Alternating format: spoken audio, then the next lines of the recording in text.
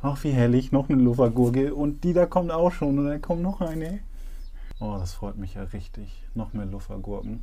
Ach Mensch, da ist hier noch einiges mehr am Wachsen. Und äh, gestern habe ich das direkt mal übersprungen. Ja, da gibt es ein paar aufmerksame Zuhörer da draußen. Aber zunächst mal, hallo ihr Lieben. Ich bin gerade nochmal im Gewächshaus, habe ja gerade eine Gewächshausfolge gebracht ähm, zur Anzucht, was sich bei mir so tut. Noch ein bisschen verwiesen auf andere Videos, in der ich schon ein bisschen was äh, zu meiner Aussaat erzählt habe, wie ich das so angehe. Und ich möchte euch draußen natürlich auch motivieren, ab in den Garten, ab in die Natur, beziehungsweise anfangen zu gärtnen. kann auch auf dem Balkon anfangen.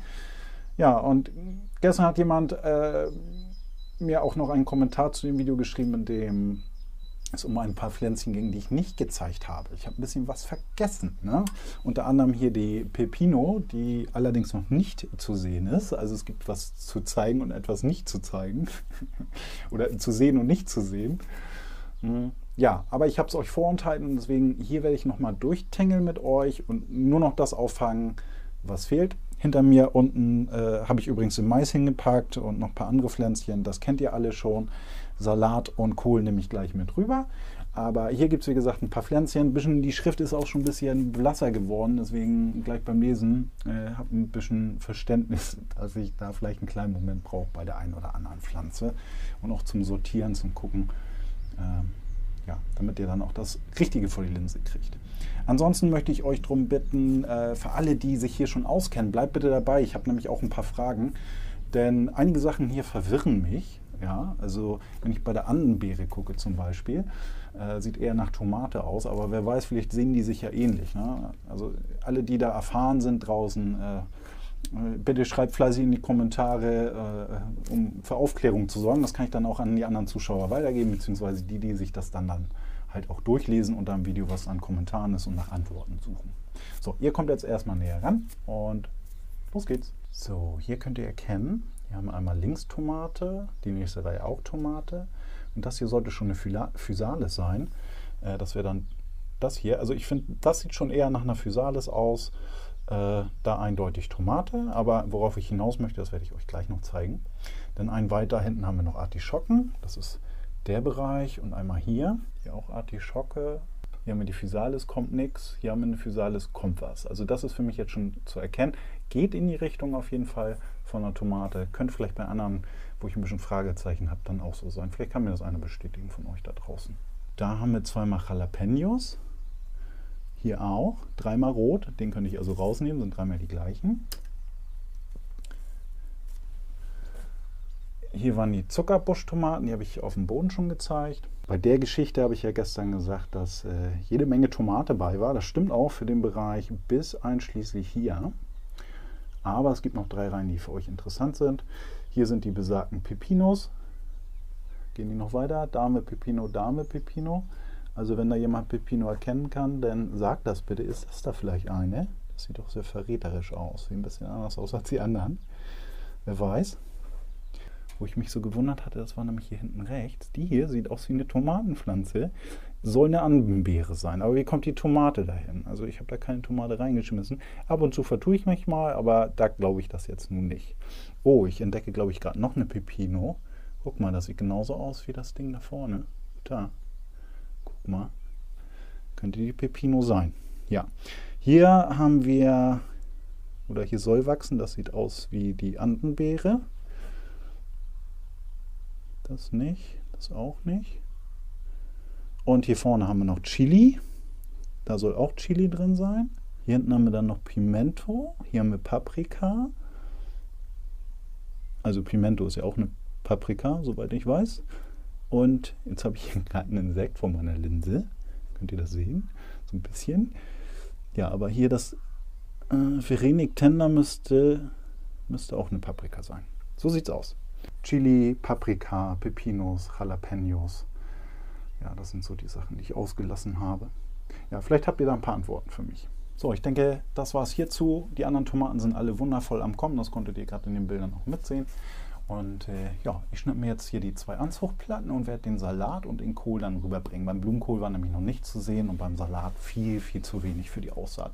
Vielleicht schmeiße ich da auch noch ein bisschen Saatgut rüber. Ich habe nämlich heute meinen Saatgutordner mit, Saatguttütchen Ein bisschen gibt es auch im Garten zu tun. Ich habe ja gesagt, es wird nicht nur hier rumgehen. Ich möchte ein bisschen was zu den Beeten zeigen. Ich möchte ein bisschen zeigen, wie man Wasser sparen kann. Generell, was man in der Permakultur gerade alles so macht. Bedeutet aber nicht, dass es nur in der Permakultur so ist, sondern auch, äh, äh wenn ihr da draußen einen Garten habt, der nichts mit der Permakultur zu tun hat, gibt es auf jeden Fall genug Sachen, die ihr bei eurer Anbaustrategie oder eurer Gartenstrategie auch anwenden könnt. So, ich leg los.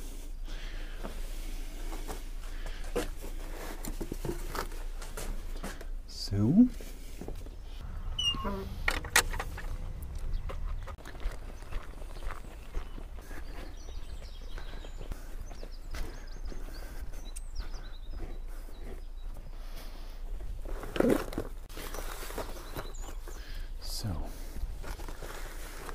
So, Salat und Kohl ist alles hier. Hier werde ich wahrscheinlich dann, wie gesagt, noch mal ein bisschen Saat drüber streuen aber jetzt nicht in dem Video, ist nicht wichtig. Hier unten habe ich noch Knoblauchgras. So, nun stehe ich in meinem Garten und es sollte ja ein bisschen darum gehen, was könnt ihr im Moment machen. Und da rate ich euch nur dazu, fangt das an, wo ihr die meiste Energie zu habt, wo ihr richtig Lust drauf habt. So ergibt sich eins äh, zum anderen. Oft, wenn man dann äh, im Flow ist, dann kann man ganz, ganz andere Sachen angehen, weil man auf einmal Ideen hat oder alles gar nicht mehr so schwer ist, wie man äh, das vorher vielleicht im Kopf hatte. Gartenarbeit, so sehe ich es persönlich nicht. Ähm, für mich ist äh, dieses Jahr richtig schön gewesen. Also äh, so richtig nach Arbeit hat sich bisher gar nichts angefühlt. Ab und zu ist mal so der Drang da gewesen, oh, ich könnte jetzt gut zu Hause bleiben. Ich muss aber heute los zum Gießen. Ich muss gucken, wie es den Pflänzchen geht. Ne? Also es ist eine gewisse Pflicht dann auch dabei. Und ja, diese Lebewesen sind mir halt auch wichtig. Und um jetzt äh, noch mehr erzählen zu können, hüpfen wir einmal rüber. Bei so trockenem Wetter muss man im Moment ja ordentlich gießen.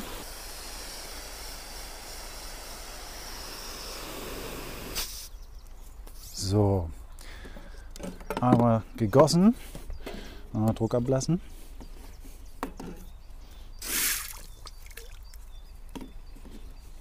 Im Moment ist es so, dass wir sehr trockene Zeiten haben, deswegen geht es ums Gießen. Und ich möchte euch jetzt sagen, wie ihr Wasser sparen könnt. Das ist kein neuer Tipp.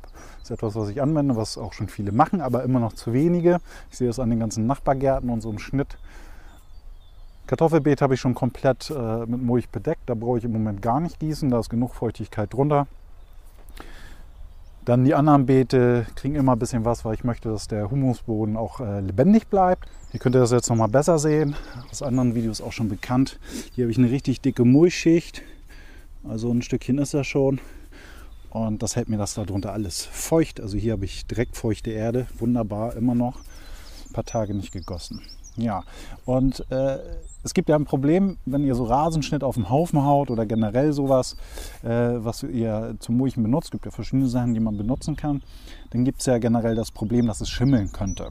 Das ist ja auch, äh, wenn dann so ein Bioprozess äh, startet in Form von, ähm, ja, dass sich das auf eine Art verkompostiert. Das ist ja so der Anfang dann äh, setzt das natürlich Energien frei und so funktioniert letztendlich auch ein Kompost. Der, die Hitze, die dann da drin ist, die trägt dazu bei, dass das alles so richtig schön verkompostiert wird. Und wie beugt man bei den Dingern dann vor? Weil man will ja keinen Schimmel im Beet haben. Äh, mein Tipp dazu, benutzt effektive Mikroorganismen. Die kann man in Läden super, super teuer kaufen. Wer ein bisschen recherchiert, findet im Internet für 3 Euro so, eine, so ein Ding, plus Versand natürlich. Das ist dann ein Liter. Und wenn ihr den Eimer habt, dann könnt ihr den auch vermehren. Ich habe schon versprochen, dass ich äh, zum effektive Mikroorganismen vermehren auch noch ein Video mache. Das wird auch noch kommen, aber alles zu seiner Zeit. Oder wahrscheinlich baue, baue ich das auch in ein normales Video ein. Ja, also dem entgegenwirken könnt ihr wunderbar mit effektiven Mikroorganismen. Dann nehmt ihr die Gießkanne, haut einen Schluck mit rein, rührt um und dann ab ins Beet damit. So habe ich das überall gemacht. Ich habe keine Probleme. So, dann könnt ihr hier wunderbar erkennen, Beet angelegt, schön schier gemacht, da auch und dann hier alles voll. Ich habe hier noch jede Menge Erdbeeren zwischen, die habe ich im Hinterkopf, weil ich äh, noch an anderen Stellen Erdbeeren dann ganz gerne pflanzen möchte. Da vorne ist Unkraut, habe ich schon recherchiert. Und dann gibt es noch ein paar Pflänzchen, da habe ich gar keine Ahnung, was das ist.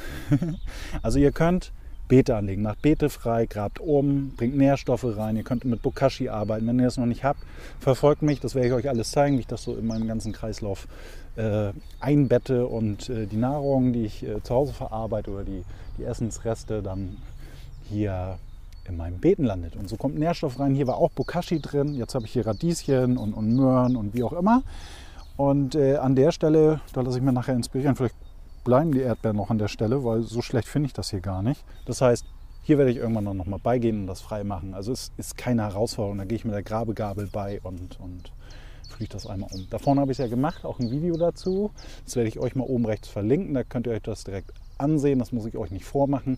Das Ganze ist alles gar nicht so schlimm. Und wenn ihr das einmal gemacht habt und dann im Kreislauf jedes Jahr wieder macht, dann werdet ihr merken, wie das immer einfacher wird. Ne? Queke, ich habe hier totalen Quekebefall im Garten und ich mache das Beste draus.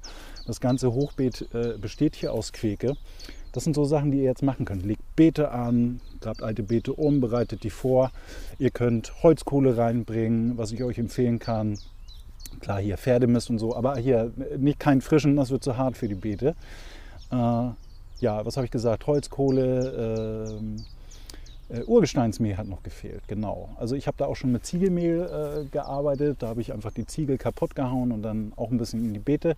Das habe ich sonst weiter nicht verfolgt, finde ich aber richtig gut, weil äh, da drin können die effektiven Mikroorganismen gut leben und äh, ich wette, da sind auch jede Menge Mineralien drin, auch wenn ich keine Ahnung habe, welche, ganz ehrlich gesagt. Äh, wenn das von euch da draußen jemand weiß, weil die Farbe von Ziegelstein entspricht auch der Farbe meines Urgesteinsmehl, was ich mir besorgt habe. Und äh, wer weiß, vielleicht werden die auch schon so recycelt. Ich habe da keine Informationen, wenn von euch einer was weiß. Immer raus damit. Wäre sehr, sehr interessant. Dann an dieser Stelle wunderschön. Ihr könnt auch Beete vorbereiten für Blumen. Macht bloß was für die Insekten. Ihr wisst ja, wichtiger denn je. Äh, hier habe ich, das will ich hier alles noch äh, auf den Kompass hauen, die Sachen. Aber worauf ich hinaus möchte, ist eigentlich die Seite. Ihr könnt euch super tolle Sachen in euren Garten bauen und auch Bauschutt verwerten und so weiter und so fort. Und ich kann euch empfehlen, baut was für die Wildbienen. Es ist wichtiger, wichtiger denn je. Es geht nicht nur um die Honigbienen. Ich finde, die Wildbienen die werden viel zu sehr äh, vernachlässigt. Deswegen, ich möchte ein bisschen äh, euer Feuer wecken für die Wildbienen übrigens. Das ist nicht deren hauptsächlicher Brutort oder Aufhaltungsort, wie, wie man das dann nennen möchte, sondern es gibt super, super viele Wildbienen und das ist übrigens auch die Mehrzahl der Wildbienen, die in der Erde irgendwo wohnen. Also hinten habe ich ein paar Stellen, habe auch äh, letztens in der, in der Nähe in einem Park äh, so einen ganzen Hügel gesehen, da laufe ich darauf zu und auf einmal bewegt sich der Boden alles voll Wildbienen. Das war so spannend anzusehen. Ich habe da eine Zeit verbracht, ganz achtsam, durfte auch zwischen den Bienen sein, da hat mich keiner angegriffen, ich habe auch nichts totgetrampelt. Richtig, richtig schön. Also sorgt dafür, dass ihr was für die Tiere, Insekten in euren Garten holt. Äh, ich sage euch, tut ihr was für die Tiere, tut ihr was für eure Pflanzen, tut ihr was für eure Seele. Es ist so heilsam und äh, dem Beten wird es gut gehen. Wenn das Leben tobt, da werdet ihr richtig tolle, gesunde Pflanzen haben. Ja, richtig schön. Oh, das ist richtig schön warm gerade hier. 14 Grad, fühlt sich deutlich wärmer an. Jetzt wird es auch in den Klamotten sogar schon richtig warm an der frischen Luft. Also 14 Grad, mehr werden wir heute nicht kriegen oder sollen wir heute nicht kriegen. Mein Garten fühlt sich aber generell immer ein bisschen wärmer an. Ja. Da vorne ist ein Diesel reingekommen. Das zeige ich demnächst einmal. Ich glaube, das dürfte bei euch jetzt nicht drauf sein. Dann habe ich ja jede Menge Holz hier liegen, was äh, ja für andere Zaungäste dann eher so aussieht, als ob ich meinen Garten nicht aufräume. Das habe ich ganz bewusst hier so liegen. Den Haufen habe ich hier äh, geschenkt bekommen. Das hat jemand für mich gemacht. Hat gefragt, wo es hin soll. Hier vorne. Und äh, ja, den habe ich selbst so ein bisschen angeordnet. Die Sachen lagen ja erst auf dem Kartoffelacker. Und ja, warum sage ich das, mache ich das? Es ist ein bisschen Lebensraum für Vögel, im Frühjahr auf jeden Fall ganz, ganz doll. Äh, zum Nisten dies hier eher weniger, eher so Naturzäune. Und äh, in dem Bereich, das ist so ein Bereich, da können noch wunderbar Igel überleben. Also hier gibt es genug Ecken, wo man bis hinten durch kann und dann sind die Tiere geschützt äh, ja, vor Feinden und natürlichen Feinden und äh, ja, generell haben sie es dann halt wärmer und kommen durch den Winter. Deswegen habe ich das hier stehen.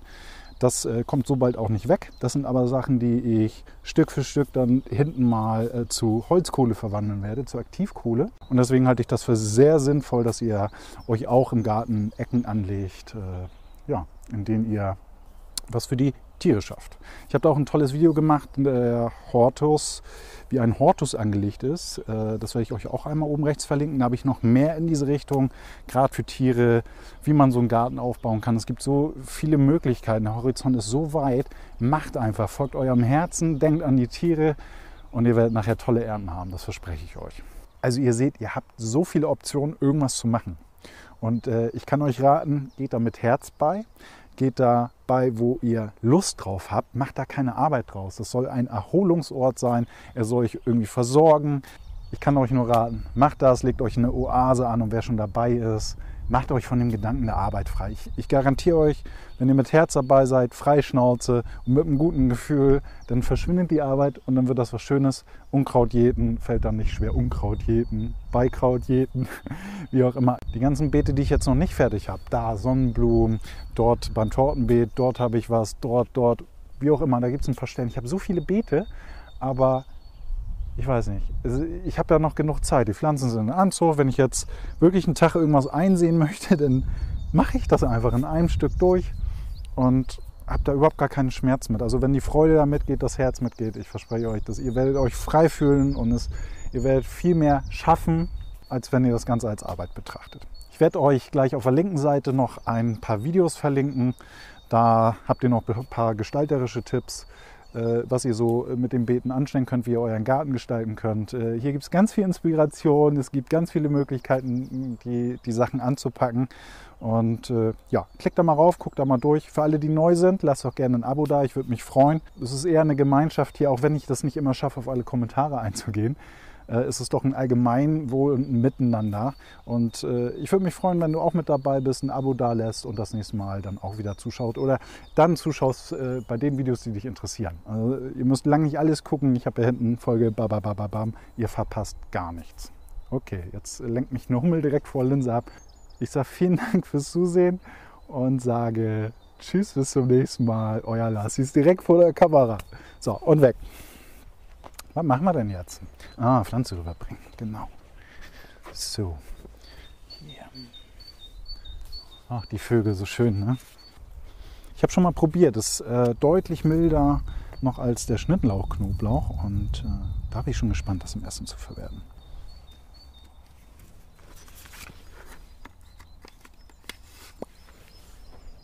Schön.